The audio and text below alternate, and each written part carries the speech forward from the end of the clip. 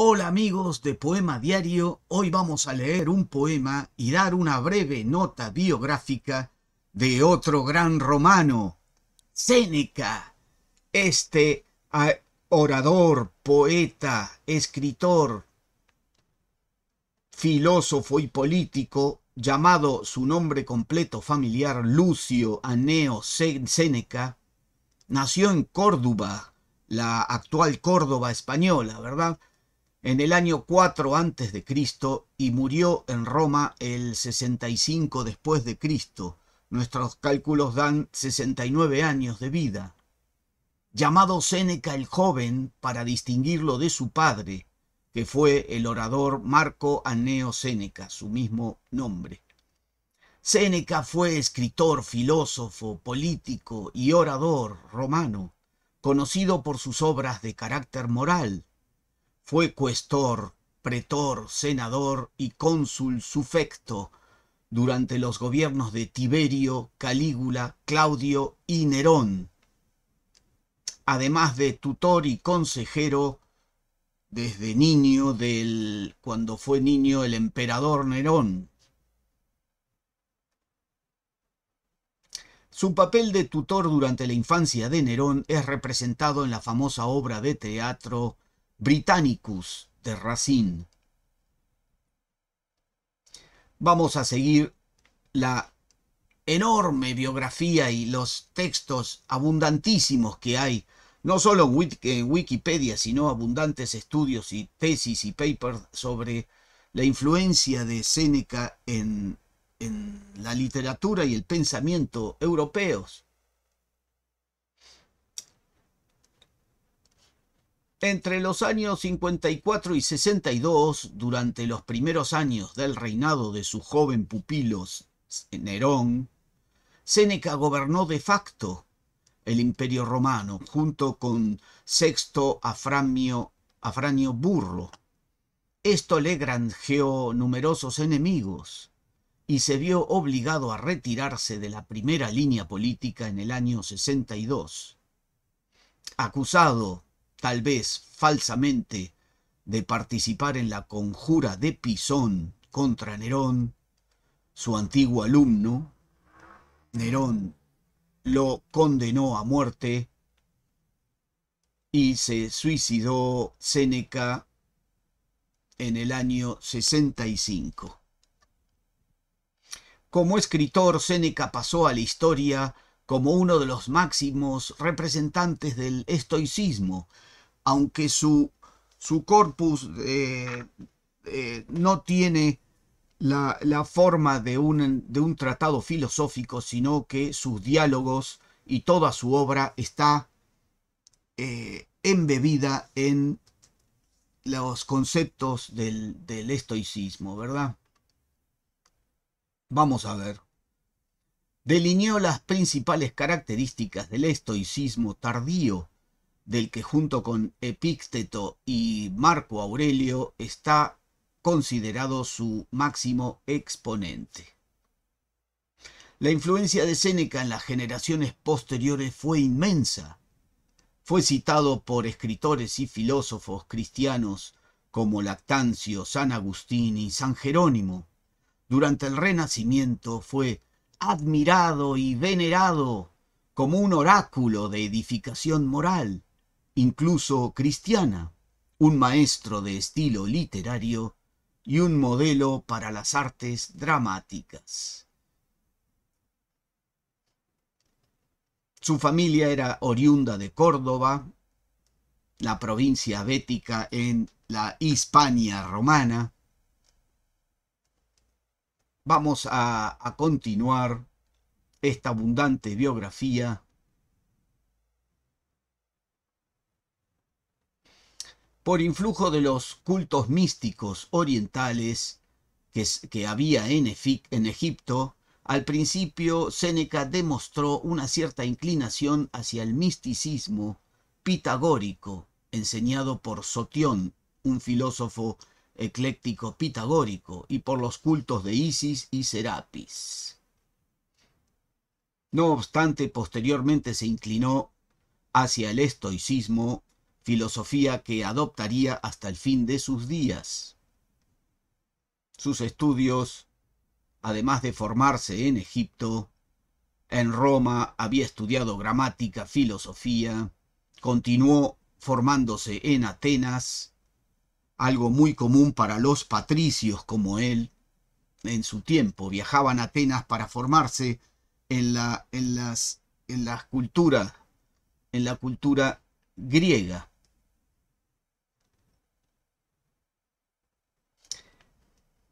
Mm, vamos a ver. En el año 37, cuando el emperador Calígula sucedió a Tiberio, Séneca se había convertido ya en el principal orador del Senado y había levantado la envidia y los celos del nuevo y megalómano César, Calígula, el cual, de acuerdo con el más de acuerdo con el historiador Dion Casio, ordenó su ejecución. Según el mismo historiador, fue una mujer próxima al círculo más íntimo de Calígula la que le consignó que revocara esta, esta sentencia y convenció a Calígula de que Séneca, asmático y de notoria mala salud, pronto moriría por sí mismo. A consecuencia de este incidente, Séneca se retiró de la vida pública. Sin embargo, en el 41, a la muerte de Calígula y con la entronización de Claudio, Séneca, que continuaba siendo relevante en, en la política romana, fue de nuevo condenado a muerte, si bien la pena se le conmutó por el destierro en la isla de Córcega. Las causas de esta condena se ignoran. La sentencia oficial lo acusa de haber cometido adulterio con Julia Livila, hermana de Calígula, hecho bastante improbable. Más probablemente se ha apuntado que la esposa de Claudio, la célebre Valeria Mesalina, que manejaba los hilos de las de las de las sinuosidades del poder, lo habría considerado peligroso ahora que Calígula había muerto. La entronización de Claudio se había producido con la oposición del Senado y Séneca que debido a su prestigio como orador, era probablemente uno de los senadores más influyentes, podría haber sido un enemigo político en potencia para Claudio. Bueno, vamos a saltear infinitas, numerosísimas anécdotas a llegar al, final de la vida de, de Séneca en el año 59, la antigua gran valedora de Séneca, Agripina, fue asesinada por Nerón. Nerón estaba en el poder y hacía, ¿verdad?, lo que le placía o lo que su, su impulso megalómano y enfermo lo, lo, llevaba por donde, por donde fuere. Esta, esta, este, esta muerte de, de Agripina marcaría el inicio del fin de Séneca. Aunque posiblemente no estuvieran involucrados, Séneca y Burro tuvieron que llevar a cabo una campaña de lavado de imagen pública del emperador a fin de minimizar el impacto que pudiera tener el crimen. Séneca em, escribe carta al Senado justificando a Nerón, etcétera, etcétera. Todas estas corrupciones y corruptelas del poder son, son abundantísimas, ¿verdad?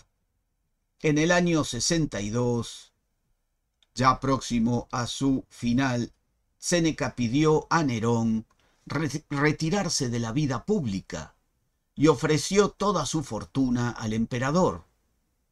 El retiro le fue concedido tácitamente, aunque la fortuna no le fue aceptada hasta años después. De esta manera Séneca consiguió retirarse de la cada vez más peligrosa corte romana y comenzó a pasar su tiempo viajando con su segunda esposa, Paulina, por el sur de Italia.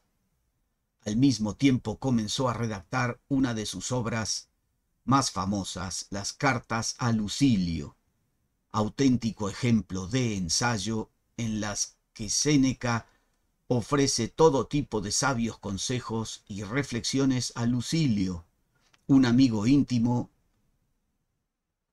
que puede que haya sido procurador romano en Sicilia. Esta obra serviría de ejemplo siglos después a Michel de Montaigne en la redacción de sus ensayos. Aún así, habiendo, habiéndose alejado de, de Roma, Séneca no pudo librarse de los celos y la obsesión maniquea de su antiguo pupilo Nerón. En sus últimos años parece que Séneca sufrió un intento de envenenamiento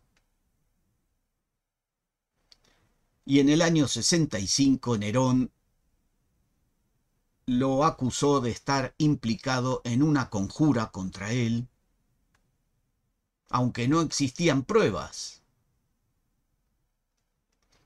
Así que fue condenado a, muerte con muchos otros patricios y caballeros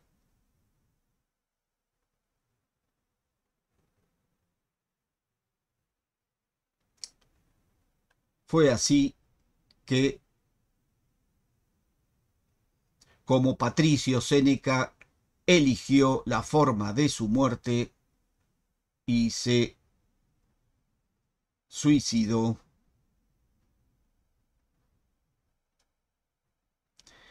Vamos a leer alguna obra, muy poco, de Séneca, porque es abundantísimo lo que hay en vez de, de pasar a las, a las obras de teatro, voy a, a, a leer un párrafo de sus famosos diálogos, que es quizá la puerta de entrada a toda la obra de, de Séneca.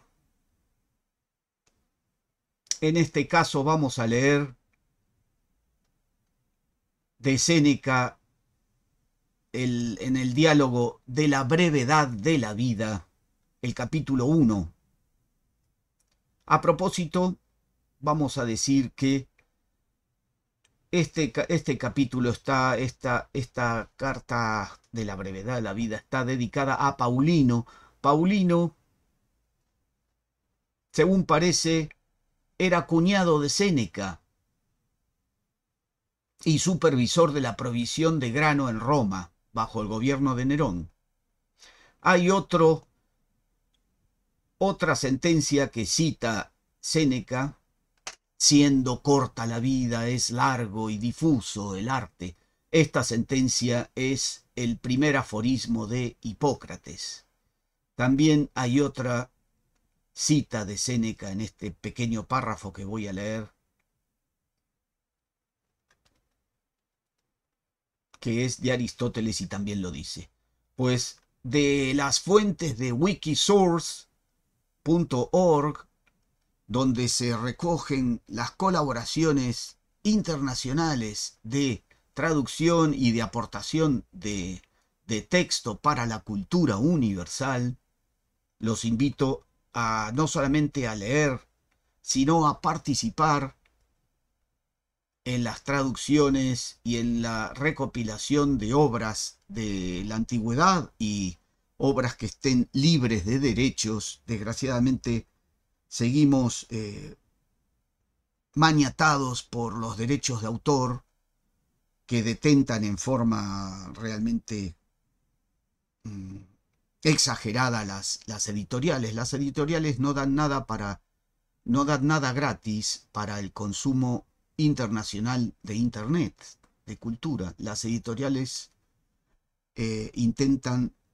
ganar dinero nada más. Y entonces persiguen a todas las citas abundantes o las, las puestas en, en, Internet de partes de sus, de sus textos editados por ellos, ¿verdad? Esta exageración del, del copyright eh, espero que en el siglo XXI se solucione de una buena vez. De Séneca, de la brevedad de la vida, vamos a leer del capítulo 1 un párrafo que dice así. La mayor parte de los hombres, oh Paulino, se queja de la naturaleza, culpándola de que nos haya criado para edad tan corta y que el espacio que nos dio de vida corra tan veloz, que vienen a ser muy pocos aquellos a quien no se les acaba en medio de las prevenciones para pasarla. Y no es sola la turba del imprudente vulgo la que se lamenta de ese opinado mal, que también su efecto ha despertado quejas en los excelentes varones, habiendo dado motivo a la ordinaria exclamación de los médicos, que, siendo corta la vida, es largo y difuso el arte. De esto también se originó la querella indigna de varón sabio que Aristóteles dio, que, siendo la edad de algunos animales brutos tan larga, que en unos llega a cinco siglos y en otros a diez, sea tan corta y limitada la del hombre, criado para cosas tan superiores. El tiempo que tenemos no es corto, pero perdiendo mucho de él, hacemos que lo sea. La vida es suficientemente larga para ejecutar en ella cosas grandes si la empleáramos bien. Pero al que se le pasa en ocio y en deleites, y no la ocupa en loables ejercicios, cuando le llega el último trance, conocemos que se le fue sin que él haya entendido que caminaba. Lo cierto es que la vida que se nos dio no es breve, nosotros hacemos que lo sea, y que no somos pobres, sino pródigos del tiempo, sucediendo lo que a las grandes y reales riquezas, que si llegan a manos de dueños poco cuerdos, se disipan en un instante, y al contrario, las cortas y limitadas, entrando en poder de próvidos administradores, crecen con el uso. Así nuestra edad tiene mucha latitud para los que usaren bien de ella. Séneca, eterno maestro de todos los tiempos, esta es la puerta para continuar leyéndote. Un minuto de poesía cada día puede abrirnos hacia otras vidas y hacia otros ejemplos y otros rieles en la vida, ¿verdad? Gracias por ver este programa, amigos. Hasta pronto.